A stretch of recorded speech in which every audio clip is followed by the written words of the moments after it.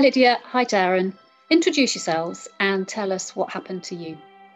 Hi, so I'm Lydia.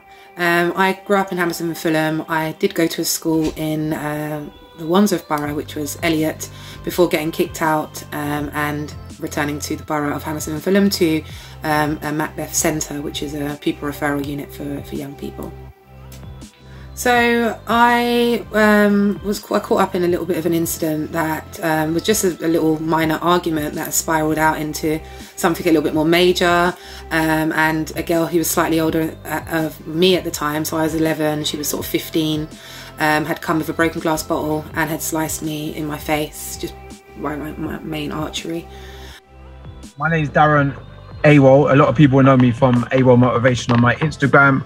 I am a life coach and a mentor for young people and people, basically people of all ages. So um, I went through a terrific accident, incident when I was younger, and my views on life have really changed. And I inspire to change people as much as I can possibly throughout a day.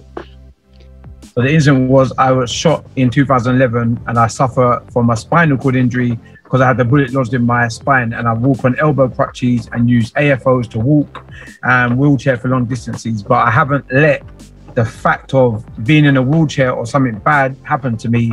I've just used it as a, I've used it as an energy turnaround. So I've used the bad, the negative to thrive the positive and get the energy I need to get through every day. Darren, tell us what helped you when things were bad and what you think helps others.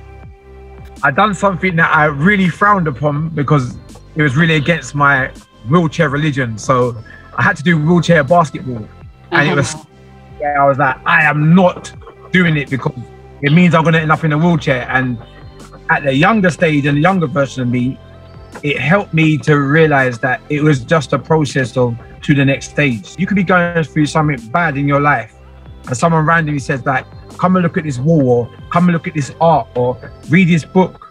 And then you needed it. That's the message you needed to hear but you don't you won't take it on to it may not hit you for a day a second an hour a year but when you realize that's what i needed then you'll go back to it and be like this is what i want to do. And you will find your passion within something you do. Everyone has a passion and a gift and i believe that the gift is in between uh, it is inside of us Lydia, do you think a project like Eugene's would have helped you?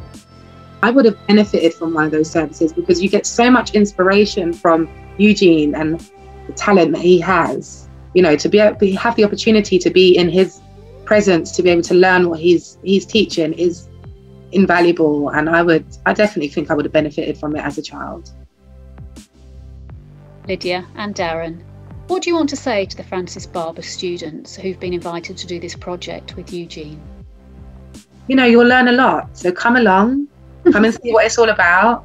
Um, you know, it's better to be hanging hanging around doing something more creative and productive than being on the streets where there's potential of a lot of different issues out there. So I would say get on board. You don't know what you're coming to unless you try it, um, but you won't be disappointed.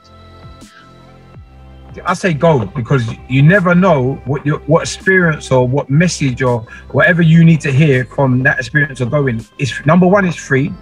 Number two, you're, number two, you're going to meet like-minded people, and you never know what you're going to take for it. And a lot of people have hidden talents that they don't know about or hidden gifts, and then or they might be thinking of thought, and then all of a sudden in their thought pattern, they, you take that that young person out of their environment into something where they're really good at. Now a lot of them are good at art, drawing, um, being there. So there, and there's so much creative minds throughout this young youth that I witnessed via Instagram, Snapchat. So I'd urge you to go because if this service was for me when I was younger, because these things weren't around when I was younger, uh, I was told to go and play with traffic lights. Like, who plays with traffic lights?